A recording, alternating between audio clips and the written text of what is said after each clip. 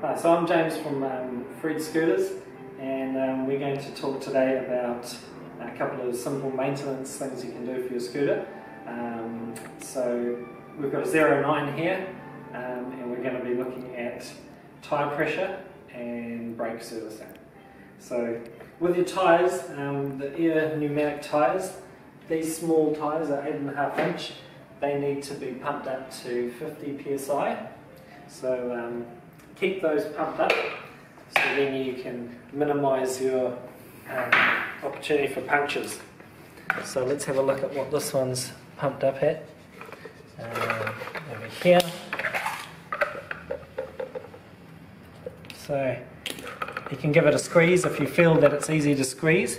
It probably needs a bit more air. Um, put it on there. And then we're going to pump this up to 50.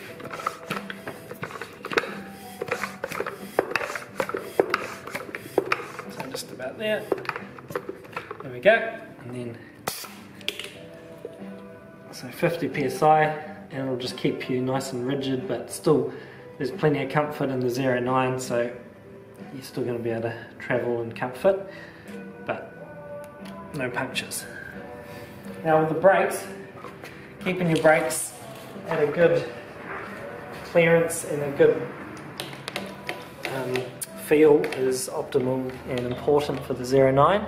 So this one's set up quite well at the moment, but if you find that when you brake the disc is bending a little bit as you brake, then what you need to do is bring the fixed pad closer to the disc. So you can do that with a um, Allen key or the one that's supplied even, and you go into the caliper from the back and you just tighten to go towards the disc or loosen to go away from the disc. And then give it a, a roll.